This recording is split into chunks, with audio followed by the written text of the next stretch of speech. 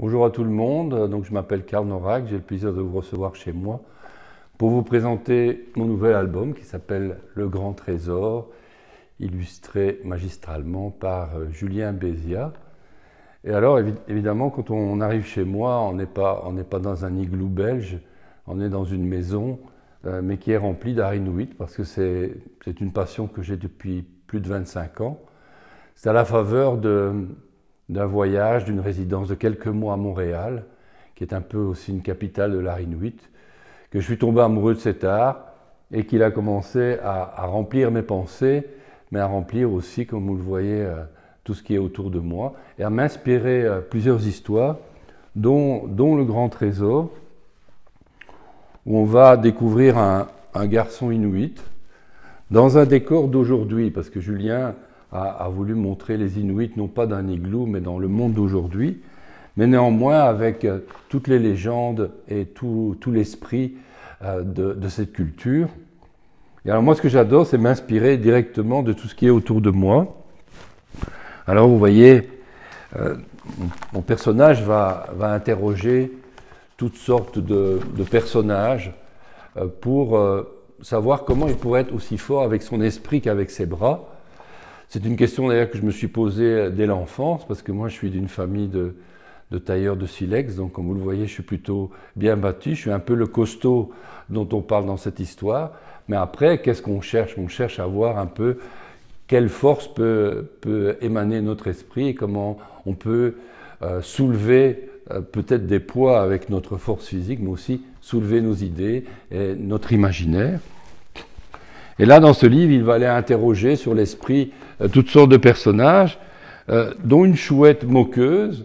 Et en fait, vous voyez, Julien s'est vraiment inspiré. Je lui ai envoyé les photos des sculptures qui m'avaient inspiré.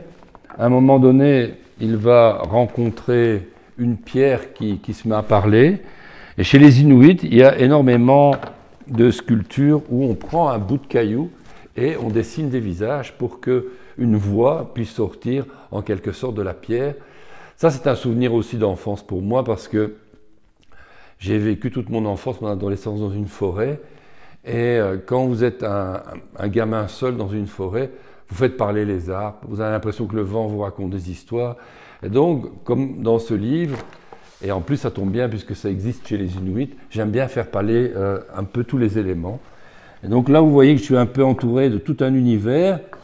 Et à la fin, il y a un pêcheur qui va lui donner un peu la, réponse. Hein, je ne vous la donne pas, hein, mais c'est ça qui justifie le titre, le grand trésor, parce que à la fin, il va avoir la réponse à toutes ces questions. Il va avoir ce grand trésor qui est le secret pour que son esprit soit aussi fort que, que ses bras. Et le personnage final m'a été inspiré par cette culture de Kiawakashuna, qui est un très très grand sculpteur, c'est de la pierre de serpentine. Et on voit un homme en train de pêcher, voilà le lien qui est sous la banquise, en train d'aller chercher un poisson ou un phoque. Mais tout à la fois, il regarde le ciel, donc il est en contemplation, et tout à la fois, il a l'air d'être complètement dans son imaginaire, dans ses pensées. Et là, il a cette sorte de pouvoir de la pensée de faire trois choses à la fois, d'être en train de pêcher, en train de regarder un paysage et être en lui à la recherche d'un chemin un petit, peu, un petit peu caché ou un petit peu secret. Et donc le chemin secret de ce livre, qui s'appelle Le Grand Trésor, avec euh, de, merveilleuses illustrations de Julien Bézia, est paru chez Pastel. Ben, j'espère vous donner envie de, de l'ouvrir et de partir en promenade sur la banquise avec Apik, mon personnage très très fort, mais qui a beaucoup de pensées qui sont en train de grandir dans sa tête. À bientôt!